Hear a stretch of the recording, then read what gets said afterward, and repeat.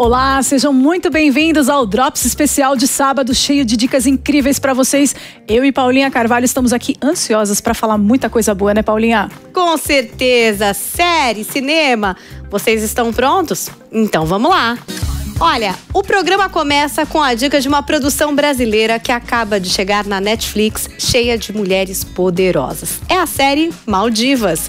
Mas não se engane, pois por trás das boias de flamingos, dos bons drinks no bar da piscina, Maldivas guarda muitos segredos, com direito a investigações, corrupção, morte, tudo isso regado a muita comédia. A trama trata da jovem goiana Liz, vivida pela atriz Bruna Marquezine, que se muda para o Rio de Janeiro quando sua mãe morre num misterioso incêndio.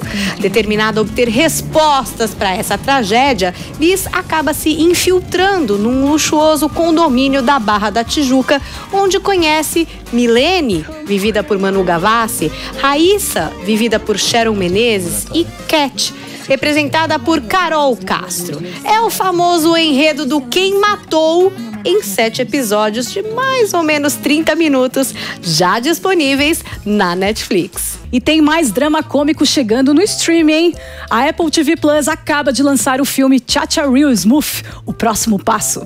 No longa, o roteirista e diretor Cooper Raff é Andrew, um universitário recém-formado que estabelece uma amizade única com uma jovem mãe chamada Domino, interpretada pela linda Dakota Johnson, e sua filha Lola, vivida por Vanessa Bergdet, uma adolescente com autismo que precisa muito de um amigo que não seja a sua mãe. Recém-formado e sem um caminho claro, para seguir, Andrew volta para a casa da família em Nova Jersey aos 22 anos, mas se há aí uma habilidade que deveria estar no seu currículo inexistente, é saber como começar uma festa, o que lhe garantiu aí um emprego perfeito como dançarino motivacional no bar e bat mitzvah dos colegas de turma do irmão mais novo.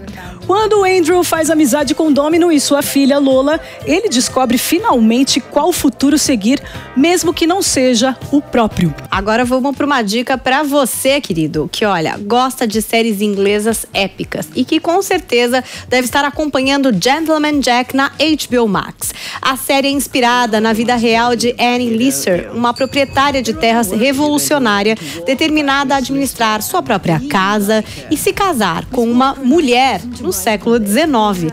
A segunda temporada da produção britânica está chegando ao fim, mostrando o que se passa na vida de Anne, que nessa segunda fase resolve assumir com Anne Walker um casal, assim aumentando suas propriedades. Claro que tanto a vida amorosa quanto o espírito empreendedor de Anne assusta ali os locais de Halifax, que está à beira da revolução. A segunda temporada de Gentleman Jack está disponível na HBO Max e vale a sua maratona. E olha só, alô fãs de Toy Story! Chegou nos cinemas o filme solo do astronauta mais querido da turma, Buzz Lightyear. Nesta aventura de ficção científica, cheia de ação, conhecemos a origem definitiva do herói que inspirou o brinquedo Lightyear, que segue aí o lendário Space Ranger da DC Comics em uma aventura intergaláctica ao lado de um grupo de recrutas aí ambiciosos e seu companheiro robô Sox, muito fofinho, tá fazendo grande sucesso viu? E quem já assistiu o filme foi o nosso Caio Cabine, que vai contar mais pra gente a respeito. É com você, Caio. Oi, Paulinha. Oi, Camila. Oi pra você ligado aqui na Jovem Pan. Eu tô aqui para falar um pouquinho de Lightyear, esse filme que conta a história do boneco, o Buzz Lightyear, só que o que inspirou ele, que é esse astronauta que ficou preso num planeta e agora ele tem que tentar bolar uma solução para tentar tirar toda a equipe dele de lá, porque foi ele quem causou o acidente que fez com que essa equipe espacial ficasse presa nesse planeta. E aí a gente vê uma mistura ali de Interestelar com Perdido em Marte, aquela coisa do tempo passando e ele todo mundo ficando mais velho, ele continuando tentando para completar a missão. E o filme é bem legal nesse sentido, ele consegue encaixar muito bem com Toy Story que a gente já viu, só que falta um pouquinho a mais. Falta aquela pitadinha de Pixar que a gente tá acostumado, sabe? Eu senti que o filme conta uma história muito legal, a história do astronauta é legal, a mensagem é muito legal de poder se entender, entender que você pode fracassar e coisas do tipo que você vai vendo no filme, mas eu sinto falta daquela coisa da Pixar que faz a gente se emocionar, faz a gente se apegar a bonecos e coisas do tipo, sabe? Então eu senti que faltou um pouquinho a mais nesse filme, mas Mas assim, tem um gatinho chamado Sox que tá em todos os materiais de divulgação que é incrível. É o melhor personagem do filme, fácil, ele é engraçado, as piadas que ele faz tem o tempo certo, é tudo muito bom, a dublagem dele tá excelente. O Mion, como Buzz Lightyear, também tá legal, mas assim, o filme como um todo é legal, se você é fã de Toy Story, não tem o que falar, é muito legal, você vai gostar, você vai poder aproveitar e entender melhor de onde veio a paixão por esse boneco tão amado por todos nós, mas faltou um pouquinho a mais ali, sabe? E para aqueles que estavam ouvindo falar, realmente tem um beijo gay entre duas mulheres, tem toda uma família sendo criado, tem todos os laços que foram criados com isso, e eles contam também a história do Zurg, de onde que veio o tão, vi o tão falado vilão, né, que a gente ouve tanto falar em Toy Story. Eles contam um pouquinho disso. Agora Lightyear chegou aos cinemas nesse dia 16. Vai lá, aproveita. Eu tô aqui, fico por aqui nessa. Tchau, tchau e até a próxima. Caramba, tô com muita vontade de assistir esse filme, inclusive para conferir a performance do Marcos Mion dublando o Lightyear, né? Exatamente, vamos ver aí. Estamos cheios de expectativas, né, Paulinha? Isso aí. E olha, Anualmente acontece o Tribeca Festival, que apresenta eventos em diversas categorias. Então tem coisa de música, palestra, videogame, televisão, imersão, tem masterclass, além, claro, de lançamentos de filmes e até retrospectivas. Fundado em 2002 por Robert De Niro e Jane Rosenthal, além do Craig Hathoff, em resposta aos ataques de 11 de setembro, o festival tem a intenção de revitalizar a região de Tribeca, que é a parte baixa de Manhattan.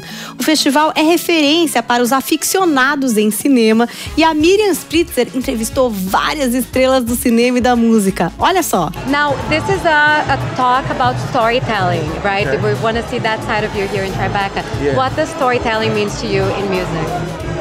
I think everybody does a bit of storytelling, right? If you don't tell your story, if you don't I don't know if you're a human being and not have a story, and I don't know people not to not communicate their experiences. I think everybody's a storyteller. I think what they're doing here is celebrating that. I don't know if my story is that unique, but you know, everybody has a story. You have a story. This is the first actual day after of Tribeca Film Festival besides the opening. You're yes. bringing this amazing comedy.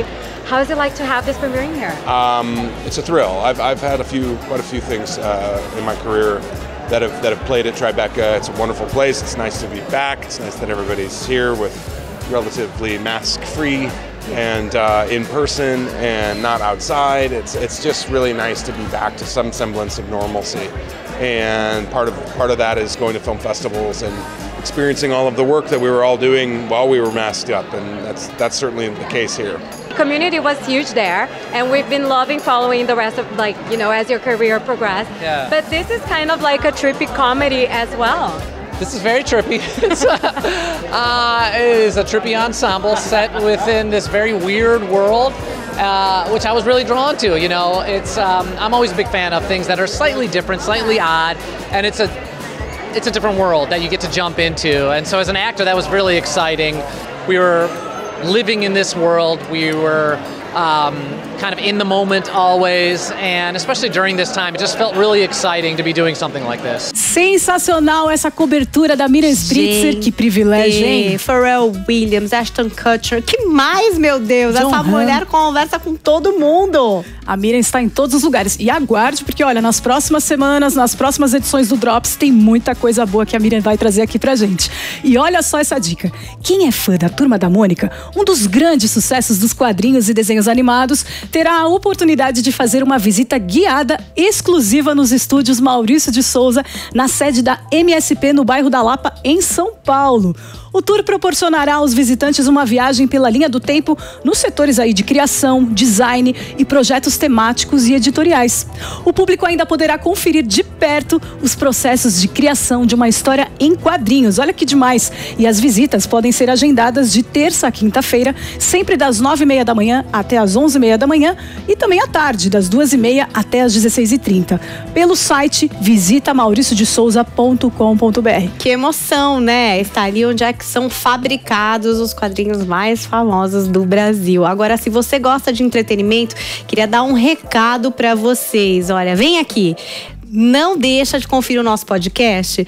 É o Drops JP, o podcast do Drops, em que a gente faz um mergulho bastante profundo nos assuntos que a gente traz aqui como dicas para vocês. Então, as séries que a gente sugere, a gente maratona e depois conta mais, se aprofunda troca uma ideia. Eu e Camila Pavão, por enquanto, enquanto Caio Sandinha está de férias, estamos esperando vocês no nosso podcast. Olha, tem um QR Code na tela, clica nele, inscreva-se na nossa playlist e não perca episódios inéditos todas as sextas, não é, Camila? Exatamente, a partir das seis da manhã, um episódio novo para vocês do melhor que está saindo de filmes, séries, documentários, universo da música. A gente tem preparado para vocês. Estamos esperando vocês e até o próximo sábado em mais um Drops especial. Até mais!